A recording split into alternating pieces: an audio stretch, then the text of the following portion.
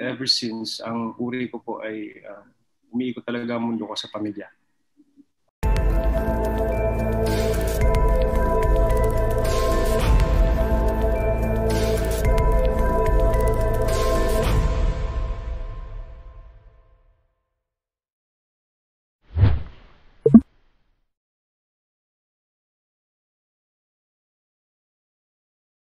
Grabe, namiss ko yung pelikula. Uh, kasi da, uh, puro TV yung ginagawa ko. Mm-hmm. Uh, pelikula pa rin talaga yung nasa puso ko. So very grateful ako. And the experience dun sa sa shoot namin, um, madalang mangyari yun eh. Uh, yung samahan namin, yung mga tao, and the time ko makatrabaho si Direct Lau, was brilliant director, is one of the reason kung bakit na na-inlove ako sa sa karakter at naging swabe yung yung takbo ng pelikula. It's a great experience.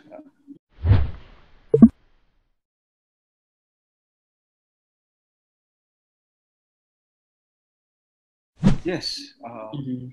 Yes. Malaki. Magkaiba kasi yung atake eh, sa TV tsaka sa pelikula. But, What was the major adjustment na uh, na-experience mo dito?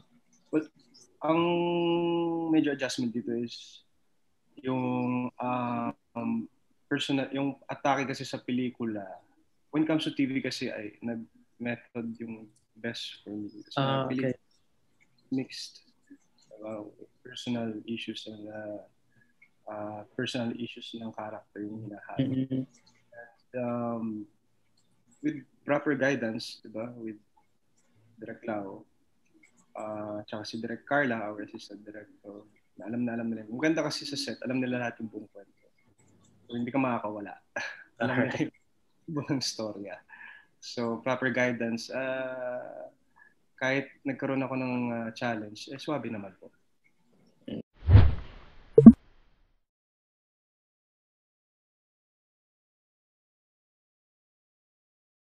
Yung pangalawa, ma'am, if it calls for for the movie, uh, ako naman kahit ano eh, as, as long as I, I read the script and ano, at uh, nagustuhan ko siya by heart, yun yung gagawin ko.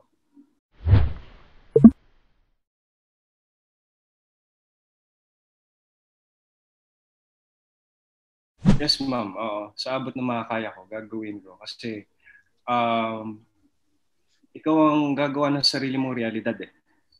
Ikaw ang gagawa ng sarili mong uh, mundo at ever since, ang uri ko po ay uh, umiikot talaga ang mundo ko sa pamilya.